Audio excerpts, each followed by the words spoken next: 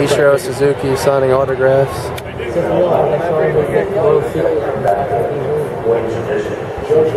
Wow, that's pretty rare. Ichiro signing autographs.